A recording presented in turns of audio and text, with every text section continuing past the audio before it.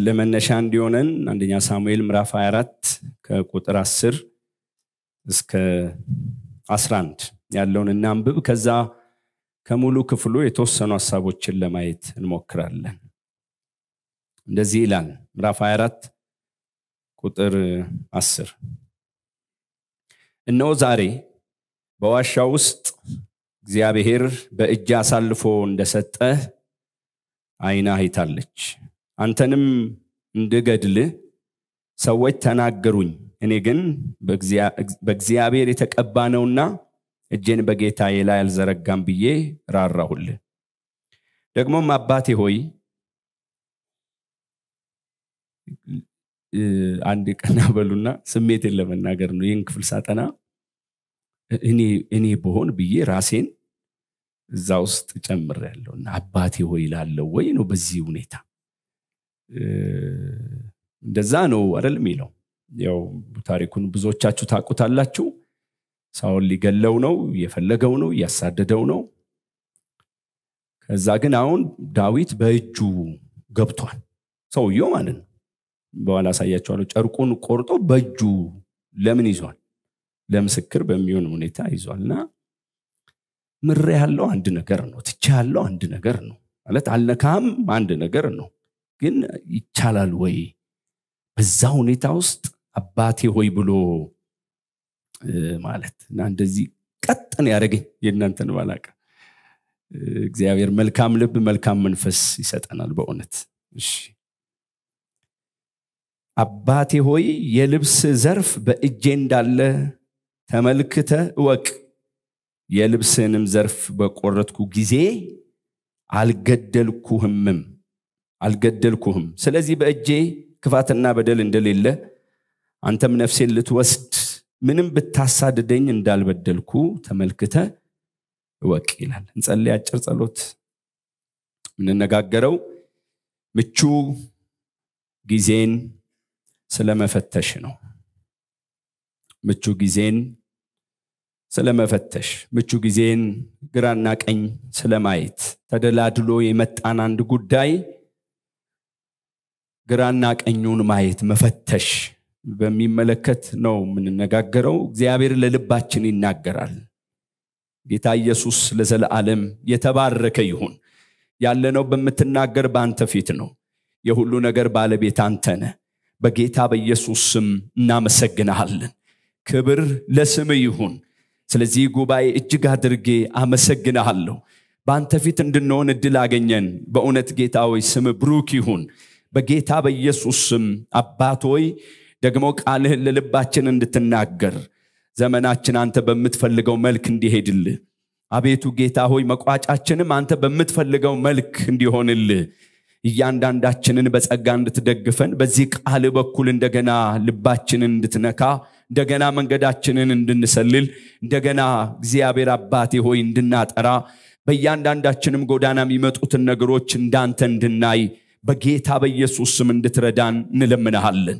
ምሽቱ በስም የተባረከ ይሁን። ምህረት ለሁላችን ይግነንልን። የሚቃወመን በስሜ የታሰረ ይሁን።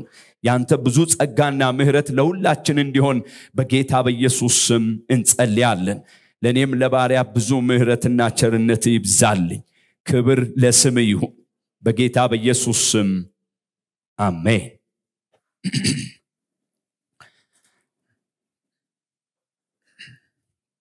የእግዚአብሔር ቃል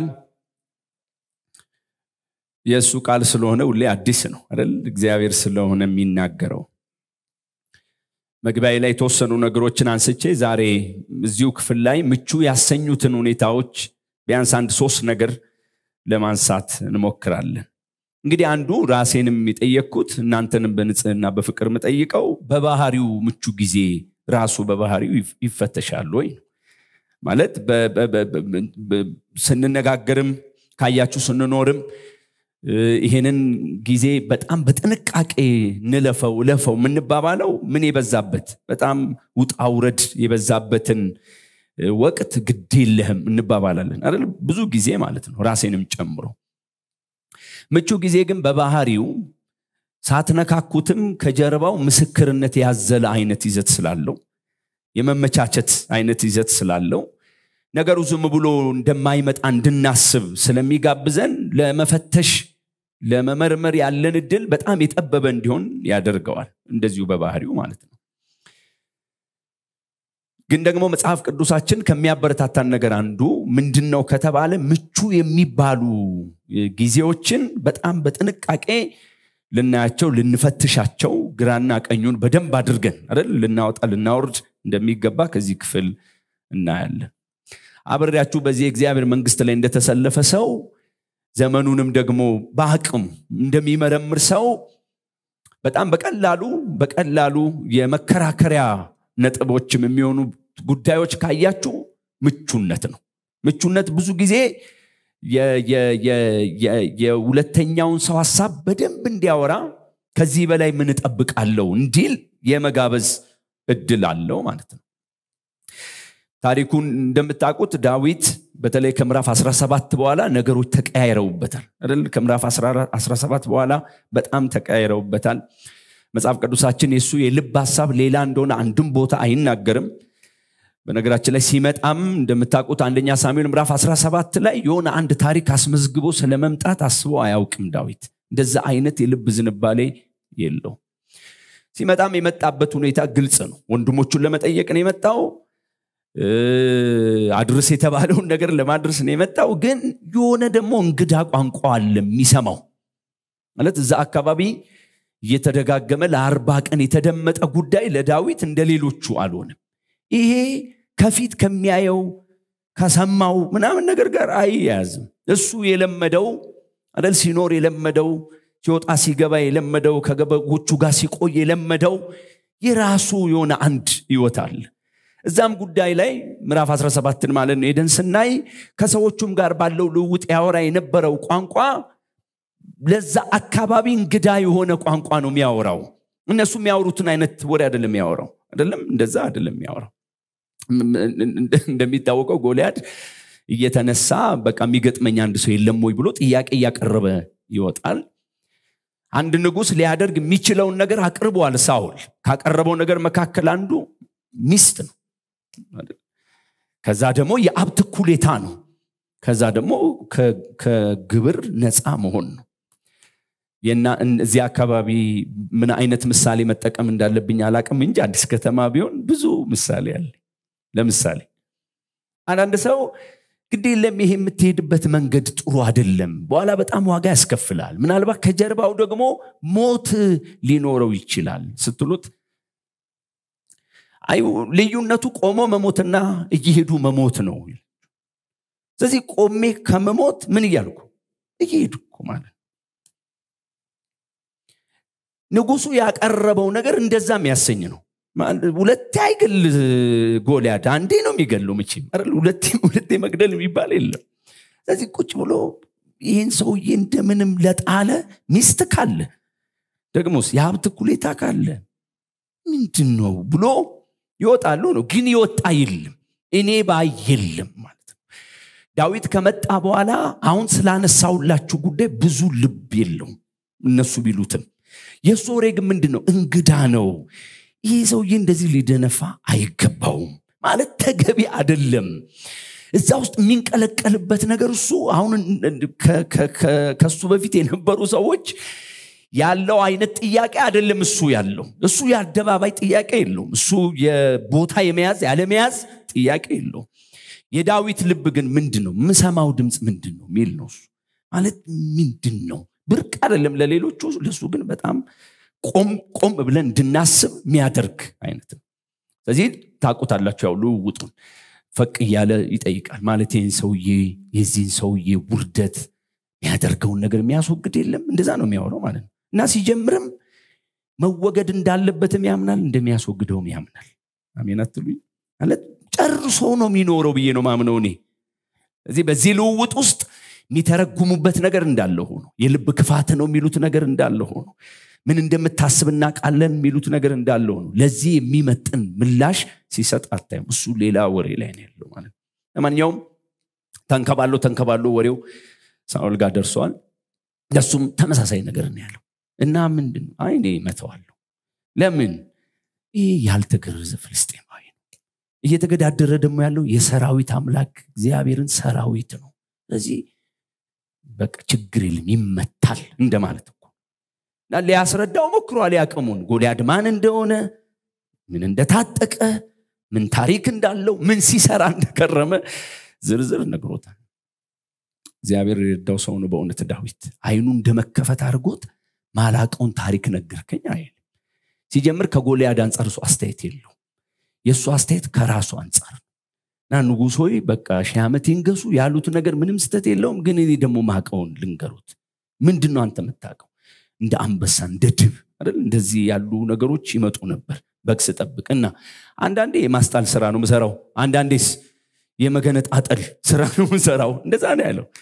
ስለዚህ እኔ ይህንን ሰውዬ ወጥቼ ይመታለዋል ለማንኛውም እዛም ክፍል ላይ ሄዳችሁ ስትመረምሩ ስለሚባለው ቀጥሎ ስለሚመጣው ነገር ጥያቄው አይደለም። ወደ ቤተሰቡም ከዚህ ምዕራፍ በፊት እንሂድ ከተባለ እሱ በግ ከመጠበቅ ውጭ እነሱ ቤት ምን ድግስ እንደተደገሰ ሳሙኤል ምን ይዞ እንደመጣ እዛ ቤት ምን እየታሰበ እንዳለ ሰው ሊቀባ እንደሆነ ሊሾም እንደሆነ የለበትም እሱ እዛ ሰፈር።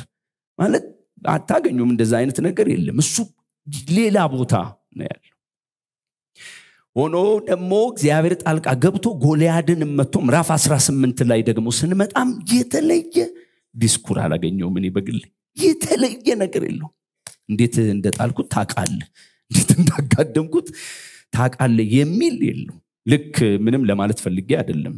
አሁን ቢሆን እንደየአመታታችሁ ሹቱን አታስተካክሉ። ለሮብ ለሐሙስ አይደል? ለምን? እንደዛ የለበትም እሱ። በቃ የእስራኤል ህዝብ አርፏል። ይሄ ተገዳዳሪ ተመቷል። በእስራኤል አምላክ እንዳለ ታውቆለታል። በቃ ጨረሰ አይደል? ግን ደግሞ የምታውቁት ታሪክ ነው። ሴቶች ተነሱ የማየውን ዘፈን ዘፈኑ። በዚህ ምክንያት ሳውል ወንበር ብቻ ነው የቀረኝ። የቀረ ሌላ ምንም የለም ብሎ ተነሳ። በቃ ሰውየው ተሰደደ። አሁን የምፈልገው ይንን በምንም አይነት ሁኔታ ሳውልና እሱ ፊት ለፊት ቢገናኙ ሳውል እንደማይምረው ጠንቅቆ ያውቃል። አንዳንድ ጉዳይ በፍቅር እንድናገር ፍቀዱልኝ። እኛ በጌታ ያለን ሁላችንም ጌታን ባገኘን በዛ ቅጽበት አእምሯችን ወደሆነ ነገር አይወሰድም። አእምሯችን የሆነ አእምሮ የሌላቸው አንሆንም። አእምሮ አለን። ነገሮች እንዴት እንደሚሄዱ ጠንቅቀን እናውቃለን አናቅም የሆነ ነገር ነው የሚያደረገኝን የሆነ ነገር ነው የሚያደረገን የሆነ ነገር አይደለም የሚያደረገን አለን አእምሮ አለን። ምንላችሁ ነው? ዳዊት ሳውል እንደሚገድለው በደንብ ያውቃል። እንደሚፈልገውም ጠንቅቆ ያውቃል። መጽሐፍ ቅዱሳችን አሁን ያነበብነው ክፍል ላይ የሚነግረን ነገር ምንድን ነው ከተባለ በዚህ ልክ ያገኘውን ሳውልን በዚህ ልክ ያገኘውን ሳውልን ሲያወራ እንደምትገድለኝ ልትገለኝም እንደምትፈልግ አውቃለሁ። ነፍሴን እንደምትሻ አውቃለሁ። እኔ ግን የውል ከነጨርቁ ምንም አላደረግኩሁም ከተፈለገ ግን እችል ነበር ነው የሚለው። ይህንን ላደርግ አልቻልኩም ብሎ ይላል። ስለዚህ በጣም እጥፍ እጥፍ እጥፍ ብሎ እጃችን ላይ መጣ ማለት I think አሁን ጊዜው ነው ማለት አይደለም ነው በጣም በማንጠብቀው መልኩ ቅርጽ ቅርጽ ያዘ ማለት አይ አሁን ምንም በቃ ከዚህ በኋላ ምን ትፈልጋለህ እንደው ምስጋና መጥራት ነው እንጂ የሚያሰኝ አይደለም። ምቹ ጊዜም በባህሪው ይፈተሻል። ከዳዊት የምናየው እሱን ነው። እዚህ ክፍል ላይ እንቁምና ምቹ እንድል ያሰኙኝን ነገሮች ቶሎ ቶሎ ብዬ ከእናንተ ጋር ለመነጋገር ሞክራለሁ እሺ የመጀመሪያውና አንደኛው ቁጥር ሶስት እንደዚህ ይላል። በመንገድም አጠገብ ወዳሉት የበጎች ማደሪያዎች መጣ። በዚያም ዋሻ ነበር። ሳውልም ወገቡን ይሞክር ዘንድ ከዚያ ገባ። ዳዊትና ሰዎቹም ከዋሻው በውስጠኛ ቦታ ተቀምጠው ነበር ይልና ቁጥር አራትን ሲጨርስ ዳዊትም ተነስቶ የሳውልን መጎናጸፊያ ዘርፍ በቀስታ ምን አደረገ? ቆረጠ ይሄ ክስተት ምቹ ነው እንድንል የሚያሰኙን የመጀመሪያው ነገር ምንድን ነው ካላችሁ ክፍሉ ላይም ተደጋጋሚ ስላነበብኩ ስላገኘው ነው እንደዚህ የሰጠሁት። የመጀመሪያውና አንደኛው የሳኦል ለዳዊት ታልፎ መሰጠት ለምንድን ነው እንደዚህ ያልከው ካላችሁኝ አሁን የመጀመሪያው እዚህ ቦታ ላይ የምናነሳው ነገር ምንድን ነው ከተባለ ለጉባኤና ለሚዲያ ምን አይነት ቅርጽ ተሰጥቶት እንደሚነገር አላቅም እንጂ ሰው ወገቡን ይፈትሻል ማለት ራሱን ይስታል ማለት አይደል? እውነቱ ውሸት?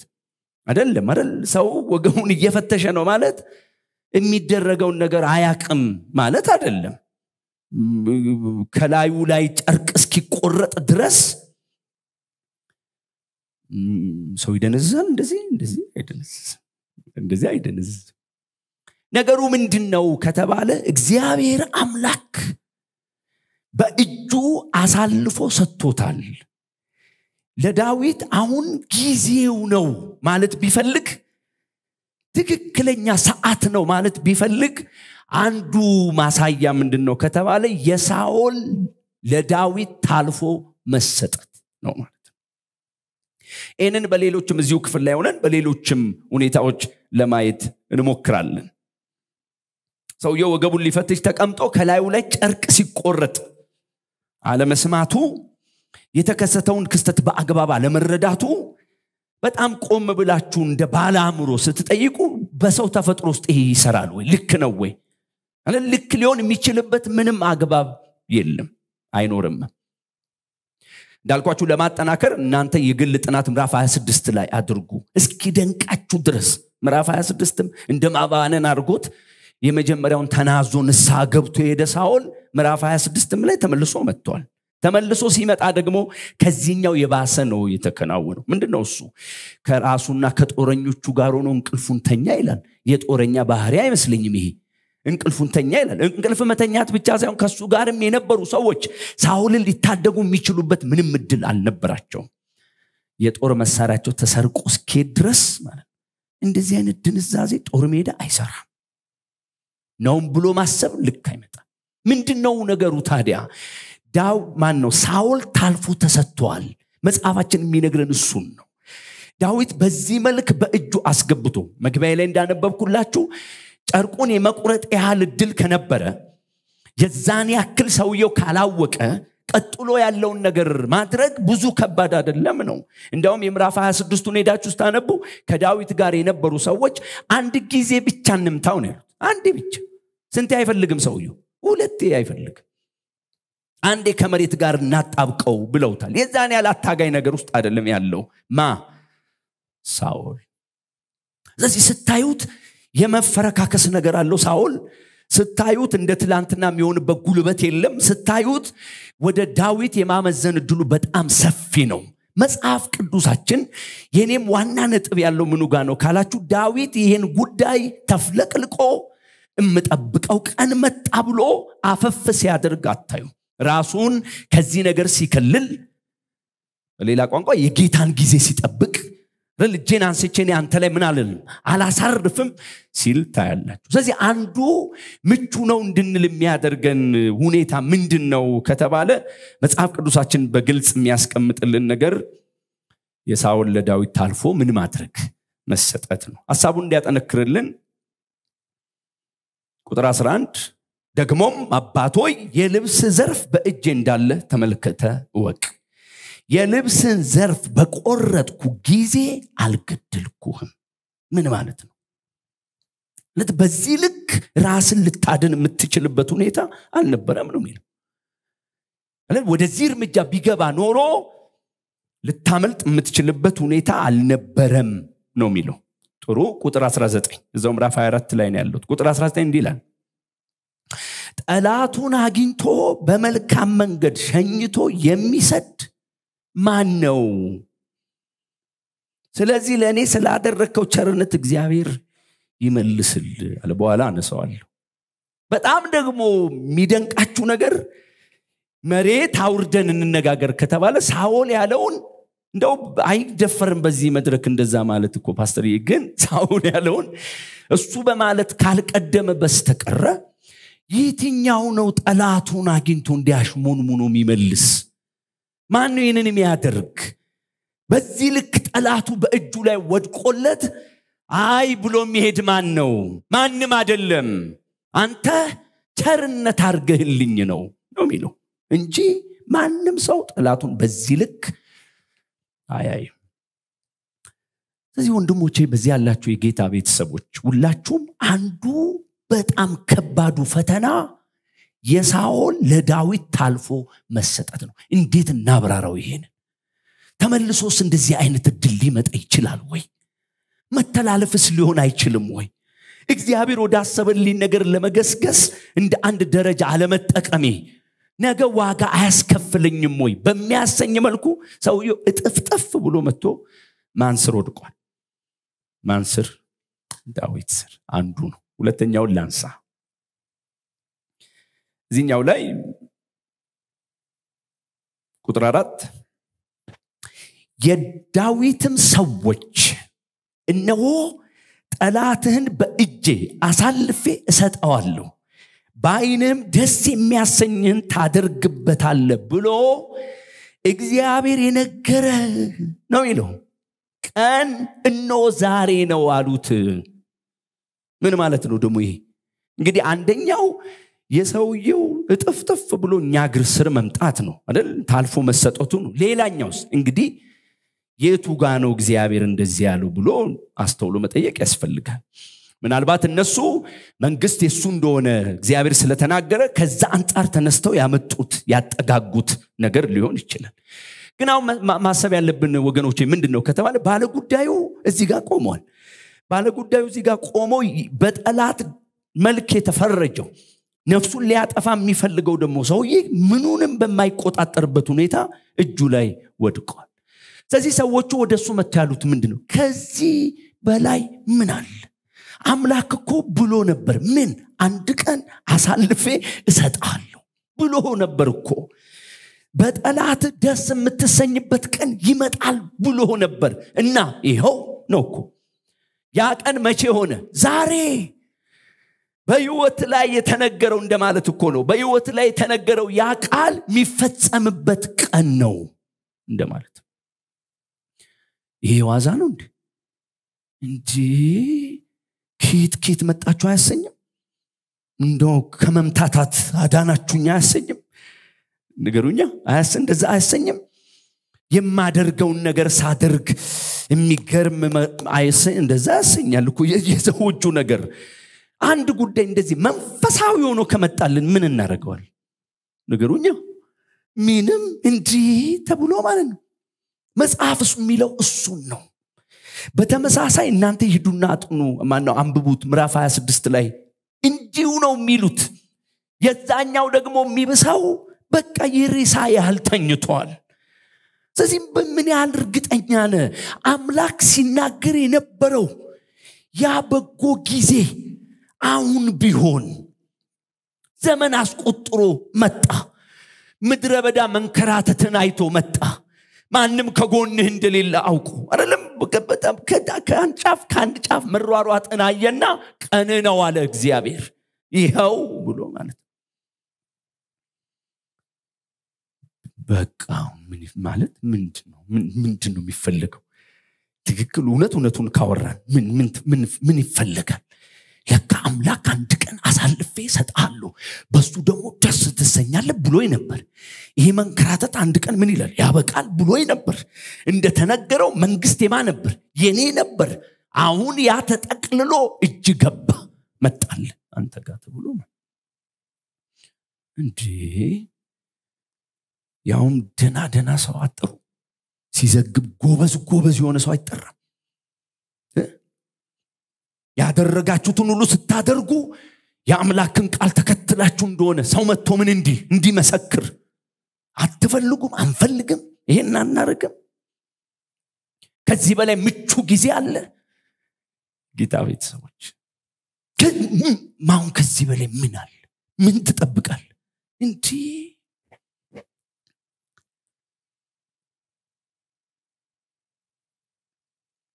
አንዳንድ ጊዜ ጌታን ቃል ሳጠና እንደዛ ይሰማኛል እንደዛ ይሰማችሁ አይሰማችሁ አላቅም በዛ ቅጽበት ምን አይነት ትግል ምን አይነት ማውጣት ማውረድ ምን አይነት ማሰላሰል ውስጥ እንደነበረ ዳዊት ባየው ላለሁ ዝም ብሎ እያለ የሚኖር አይመስለኝም እኔ።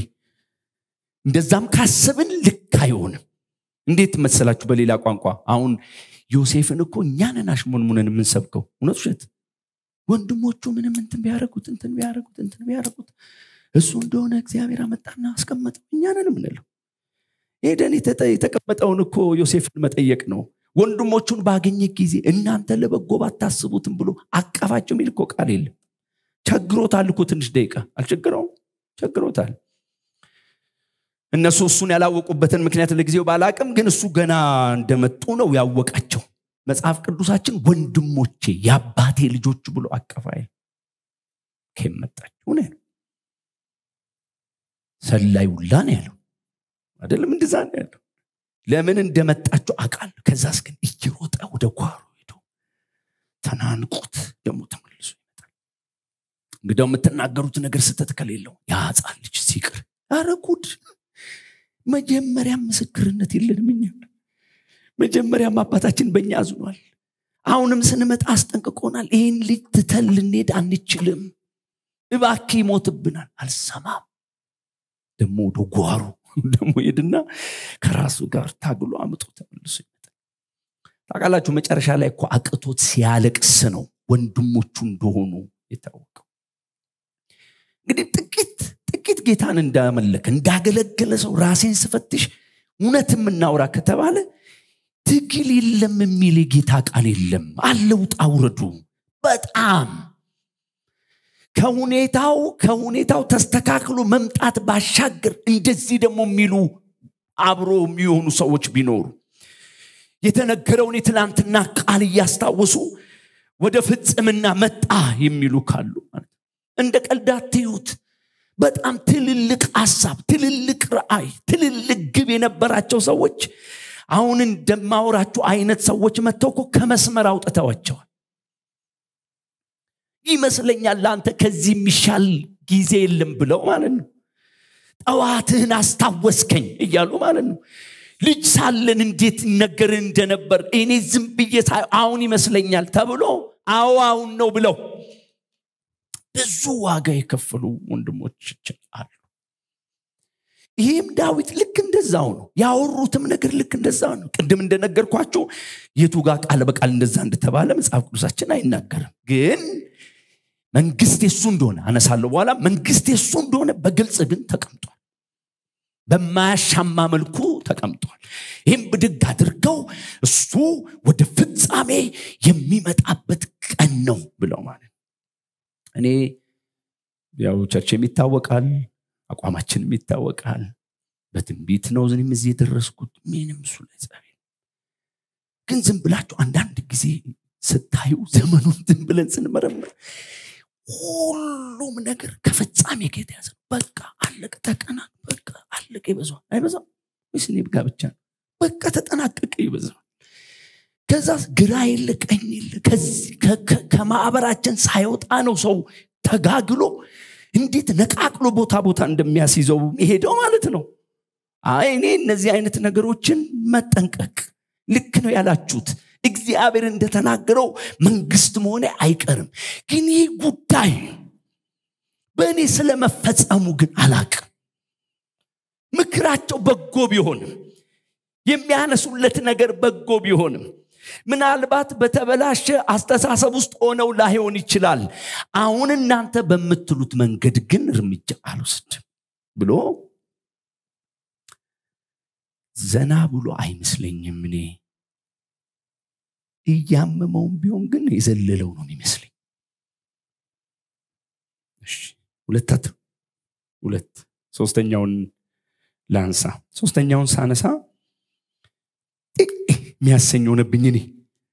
ምንድን ነው እሱ? ይኸው ቁጥር 18 እግዚአብሔርም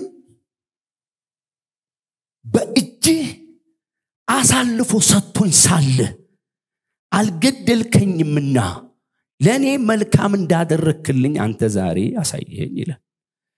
መልካም አደረክልኝ ቸርነት አደረክልኝ ይህን አየው የሚለው እንዳለ ይሁንና የመጀመሪያው ሳውል ጥፍጥፍ ብሎ መምጣቱ ነው ሁለተኛው ሰዎቹ እንዳሉት ከሆነ ደግሞ ያ የትንቢት ፍጻሜ በቃ የሚከናወንበት ቀን ነው የሚለው። ሶስተኛው ግን ራሱ ሳውል ራሱ ሳውል አፉን ከፍቶ ምን አለ? እግዚአብሔር በእጅህ አሳልፎ ሰጥቶኝ ሳለ። እንደዚህ ካልተባለ ይቅርታ ታደርግልኛል ፓስተር እንዴት ማለት እንዴት መሰላቸውን የተረዳው እንደማለት። ወይኔ! እንደ ማለት ማን አለ ይህንን ራሱ ሳውል! እሺ እጥፍጥፍ ብሎ እጅ ላይ መምጣቱ ይሁን። ደግሞ የትንቢት ፍጻሜ ነው የሚለውም ይሁን። ራሱ ሳውል እንዴት ያምናል? ማለት ራሱ ሳውል እንዴት ያምናል? ራሱ ሳውል እንዴት ይናገራል? ተሰጥቼ እኮ ነበር በእጅ ላይ። ምን ብዬ? ታልፌ ብሎ ማለት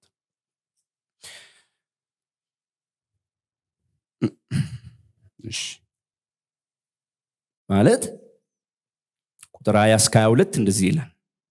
አሁንም እነሆ አንተ በእርግጥ ንጉስ እንድትሆን የእስራኤል መንግስት በእጅ እንድትጸና እኔ አውቃለሁ እኔ ያለው ማን ነው? ሳውል እኮ ነው። ራሱ ሳውል ምን አለ? ዳዊት ሆይ ወይ አንድ ነገር ልንገር ምን እኔ ራሴ ማቀው ልንገር ምን?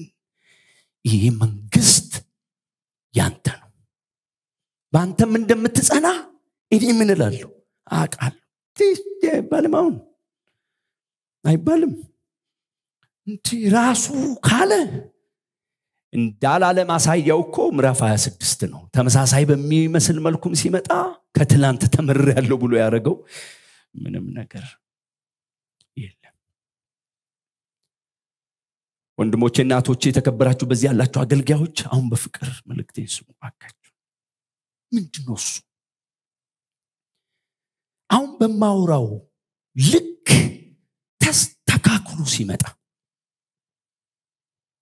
እዚህ ዘመን ላይ ደግሞ እንዳለ ሰው ካወራን ነው አይደለም ሌላ ክርክር ቢኖረውም ሰዎች ግን እንደሚሉን በቃ እኮ ዘመኑ ይነሱ ነው አይደለም ይሉን እሱንም ጨምራችሁ ነው አይደለም እሱ ሌላ ጉዳይ ከዛስ የአገልግሎት ሜዳ ምቹነት ምንለው? ከዛስ ማህበራዊ ሚዲያ ምንለው? ከዛስ በቀላሉ እኮ access ማድረግ ትችላለህ ምንባባለው ከዛስ ምኑን እንዘረዝራለን? እንደዚህ ጊዜ ምቹ አለ ወይ? ግራና ቀኛችንን ወጣ ገባ ብለን እኮ አቤት ራሱ ለጉብኝት የተፈጠረ ዘመን አይመስልም? እንዲህ ዘመኑ በባህሪው ማለት ነው። ዝም ብሎ ጉብ በቃ ዝም ብሎ ጉብኝት አይመስልም? ወዳቸዋለው የጌታ ቤተሰቦች እኛ ሌላ እይታ ሊኖረን ይገባል። ከምቹ ነገር ጋር ጠብ ያለን ስለሆንን አይደለም። እንደዛ አይደለም። ምቹ ነገር የሚያናውጣቸው ስለሆንን አይደለም ግን የትኛውም ዘመን ላይ ከሚያንገራግጩ ነገሮች ይልቅ የሚፈትኑት ያልሆነ ውሳኔ እንድንወስን የሚያደርጉት እምነታችንን ጽናታችንን እንድንጥል የሚያደርጉት ምንድን ናቸው ብለን ከጠየቅን ምኖች ናቸው? ምቹ የሚባሉ ሁኔታዎች ናቸው። ይሄ ዳዊት የሚያስተምረን ምንድን ነው እውነት ለመናገር ከተባለ መጽሐፍ ቅዱሳችንን በግልጽ የሚያስቀምጥልን ምቹ ነገር በሙሉ ከእግዜር አደለም ነው። ወይም ደግሞ የማይፈተሽ አደለም ነው። ግራና ቀኝ የማይታይ አይደለም ነው። በደንብ ተደርጎ ምን ሊደረግ? ሊፈተሽ ይገባል ነው። አንዳንዱን ብቻ ነገሮችን አንስቼ ሀሳቤን እየሰበሰብኩ እመጣል እዚህ ሳውል ለዳዊት ታልፎ መሰጠቱ አንድ ሰዎቹ ያመጡለት ምስክርነትና ማበረታታት። ሁለት ራሱ ሳውል የሚሰጠው ምን? ምስክርነት ወይም ቃል እሱን እናርግና ከዛ እንጠይቀው ዳዊትን። እኔ ምል ምን አረክ አንተ? ምን አረክ ዳዊት ሆይ? በዚህ መልክ የመጣውን ነገር አንተ እንዴት አስተናገድክ? እንዴት ገንዘብ አረከው ይህ ሰው እንዴት ባለ መልኩ በደንብ አድርጎ ቅርጽ ሰጠው? ቶሎ ቶሎ ብለን ቁጥር አምስት ከዚያም በኋላ እንዲሆነ የሳውልን የልብሱን ዘርፍ ስለቆረጠ የዳዊት ልብ በአዘን ተመታ። እዚህ የተከበሩ አገልጋዮች ስላሉ ይረዱኛል። ይህ ራሱ ትምህርት መሆን ይችላል? እኔ ያላውቅ ማለት ምን አይነት አቋም ያለው ሰው ነው ዳዊት? ማለት ምን አረኩ ብሎ ገና ለገና ጨርቅ ምን አረኩ ቆረጥኩ ብሎ የሚታመም ጨርቅ ቆረጥኩ ብሎ ቅር የሚለው ጨርቅ ቆረጥኩ ብሎ ራሱን በአዘን ምን የሚል የሚደብቅ አይነት በጣም በጣም በጣም በጣም ማሰብ ነገሮች ተያይዘው ተያይዘው ተያይዘው መንገድ ላይ ድንገት እንደሚያገኘው ተነግሮት ተነግሮት ተነግሮት ሰው ከሰው ሁሉ እኩል ከታክሲ አይወርድ። የሆነ አንድ በረከት ብቻ ዝም ብሎ ያገኘሃል እየተባለ የሆነ ሰው ጥሎስ ቢወርድ እያለ በነጋችን ላይ ጥሎ የሚወርድ ካገኛችሁም ለመንግስት ነው የሚመለሰው። ወደ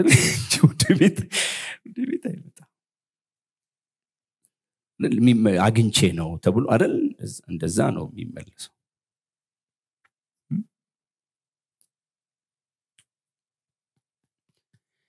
ይህ ሰውዬ እኔ የእውቀት ጉዳይ አልሆነብኝም። ልቡ ጋኑ ይሰማዋል። ገዳዩን ጨርቅ በመቁረጡ ቤቱ ገብቶ ይታመማል። እንዴት ይሻለኝ ይላል ዳዊት። ማለት ሊገል ለመጣ ነፍስ ሊወስድ ለመጣ ጨርም መቁረጥ ምንድን ነው ንገሩኝ እስቲ። እንደውም ኃይሌን ጉልበቴን አትሉ ብርታቴን? እኔ ምን አይነት ሰው እንደሆንኩ በዛው እግረ መንገድህን እንድታቅ እንደውም ለምልክት ላስቀምጥል አደል አያሰኝም እሱ ግን አለው እመም። እናንተ ቅርታ አለው። በምቹ ነገር በሚመጣው በዛ ጋሪ ውስጥ ገብቶ መጋለብ የኛ እንዳይሆን ከተፈለገ ህክምናውን ማድረግ ያለብን ከልባችን ጋር ተያይዞ በጣም ቆም ብለን ማሰብ ያለብን የልብ ዝንባሌያችንን ነው እመኑኝ መቼ ነው? ወሮ ነው ሶስት ወሩ ነው።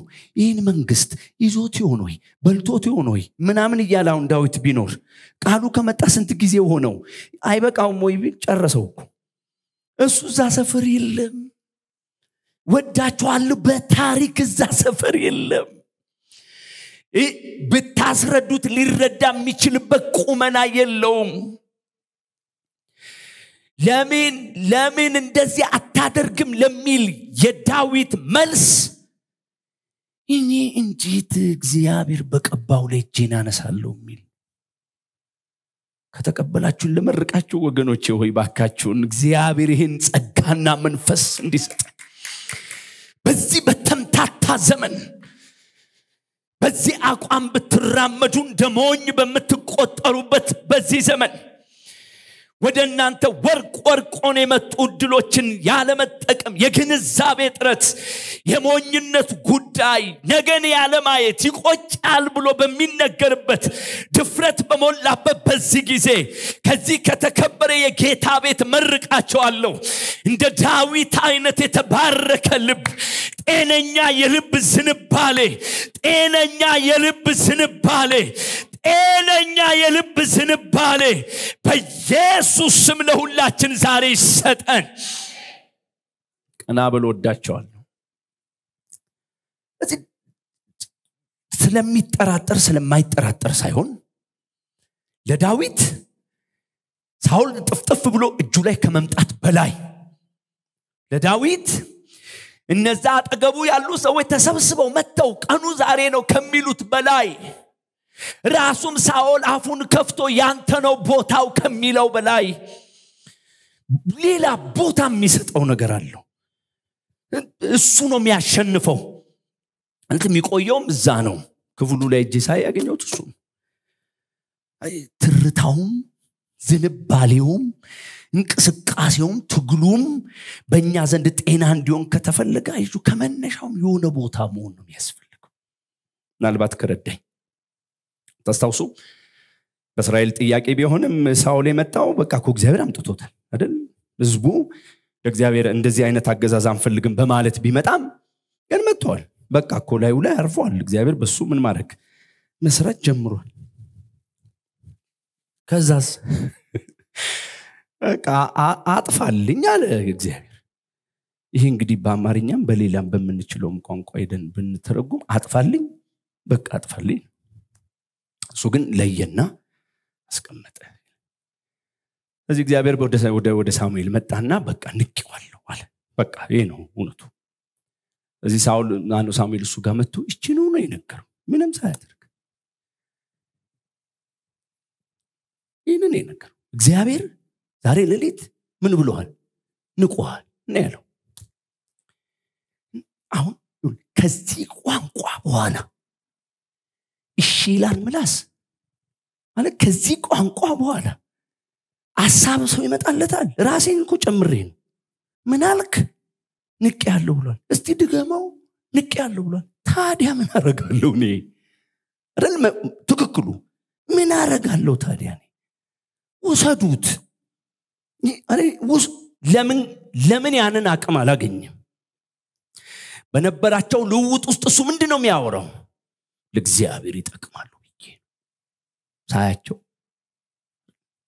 እዛ ሳውል ማነው ሳሙኤል እንደሚለየው ሲያቅ መጥቶ አንድ ጥያቄ እግዚአብሔር ከዚህ አድነን? ስሙኝ ባካቸው አንድ ጥያቄን የጠየቀው። በቃ ዛሬ ከኔ ጋር ወጥተ አብረ መስዋዕት ምን ብል ለምን? ሳሙኤል ከሱ ጋር አብሮ ወጥቶ መስዋዕት ካቀረበ ህዝቡ ሲያይ አሁን ድረስ ማ ከሱ ጋር አለ? እግዚአብሔር ይችን ካገኘ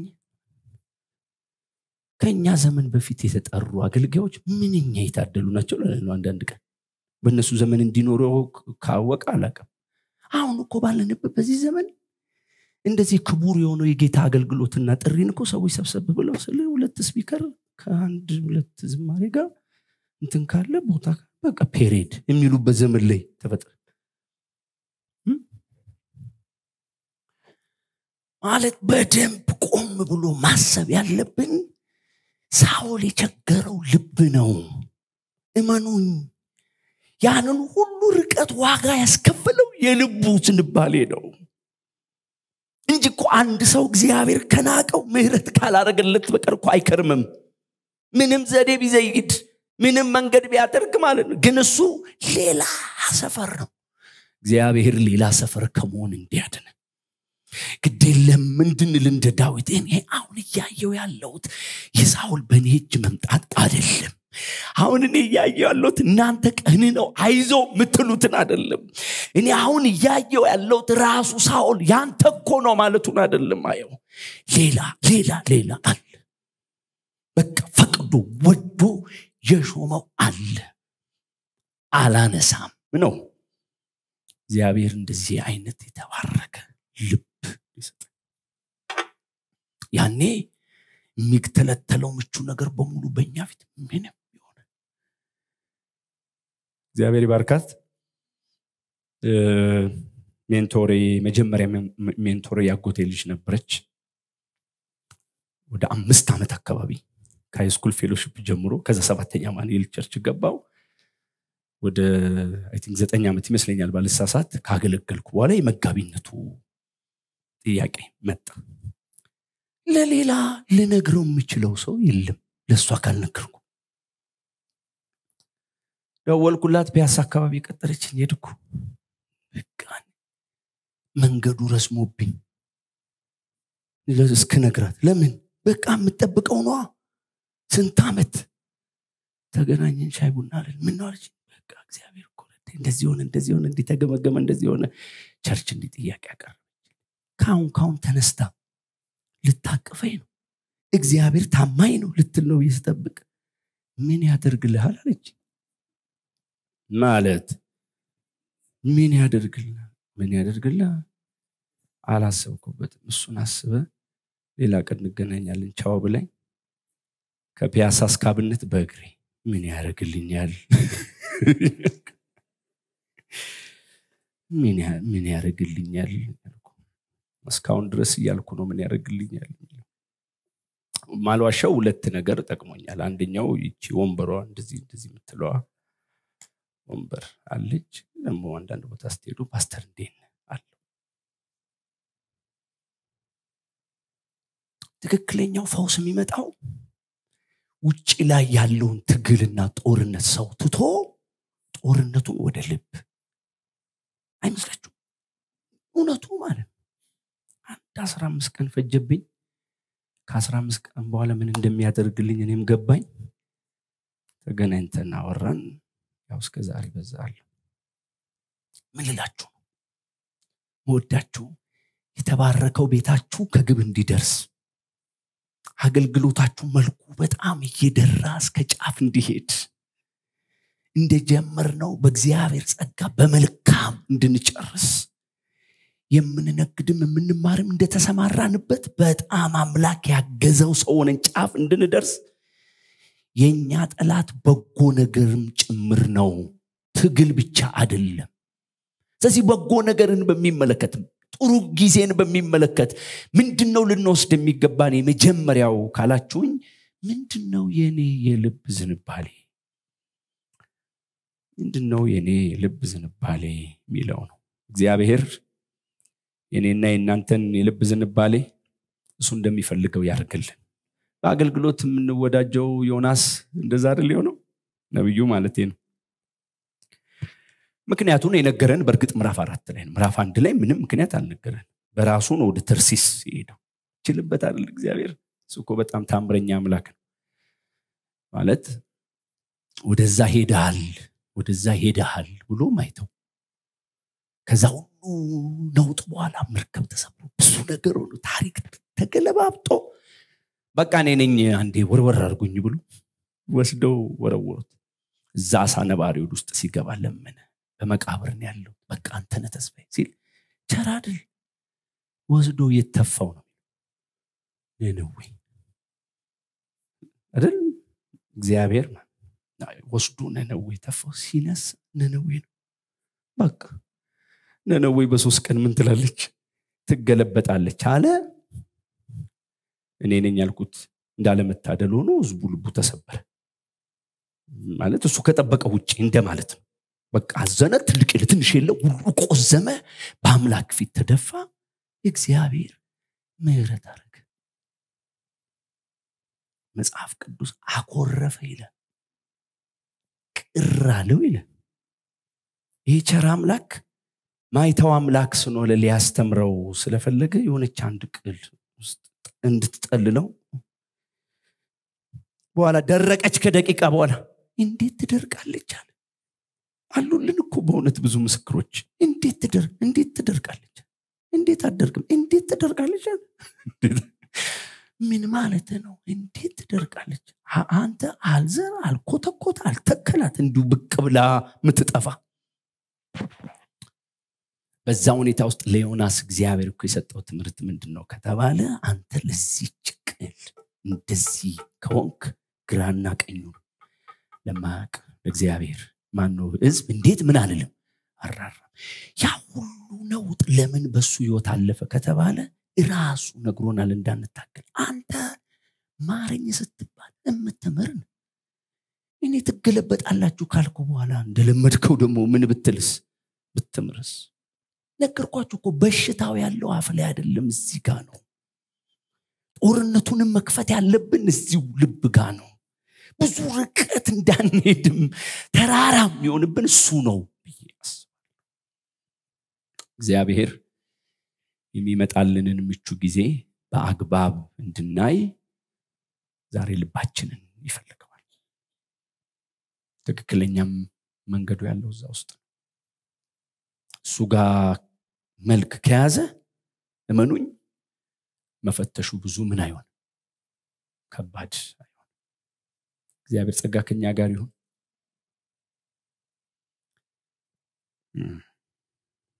ሰዓት ይኑረኝ አይኑረኝ አላቅም ሁለተኛውን ለማየት ወይስ እዚሁ ጋር? እዚያ እንችላለን? ትንሽ መጸለይ